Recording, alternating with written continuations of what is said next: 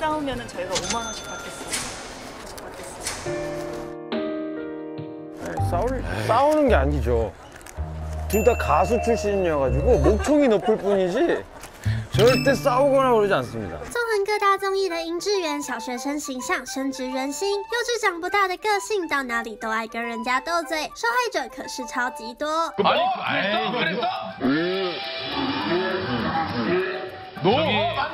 아니 포미니천 유명한 게 뭐예요? 그럼 그 돼? 근데 그 야, 그게 되냐고. 된다고. 어. 된다고? 된다고. 된대. 제일 유명한 거 된다고. 어. 그 일진 타이틀곡 이런 거. 어, 그거 되지. 그 정도면 나 하- 빠졌나 너? 우리 다 맞추기 쉽게 하려고 지금 조건을 내세우는데 지금 형이 그럼 다 알아 방송국을 아니 그럼 예전에 못 보던 또 나이 들은 지원이 형의 모습을 보니까 너무 좋더라고요.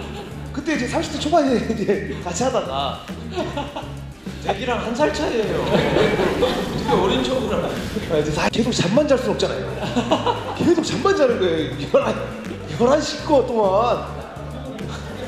분들도 다 낮잠 주무시고 하는데 네가 뭔데 나한테.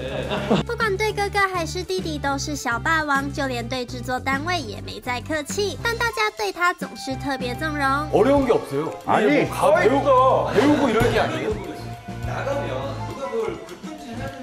주는 셰프가 나갔으면 자기가 네. 준 거기 때문에 모든. 식당이 예, 다 예.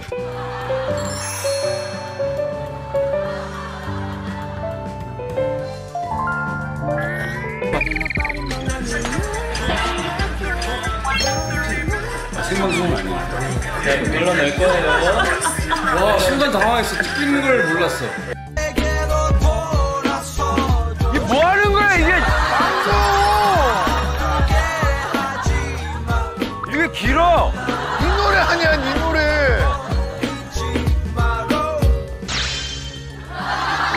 근데 이게 진짜 인기 많더라고. 나 이게 왜 이렇게 징그러운 걸 좋아하는지 모르겠어. 아 진짜로. 이거 너무 좀 징그럽지 않아요? 이게 뭐, 이게 뭐야? 인삼이야 뭐야? 满满可爱的孩子气，站在同龄人旁边都完全感受不出已经四十二岁。这么可爱的宝宝，想不疼爱都难呐、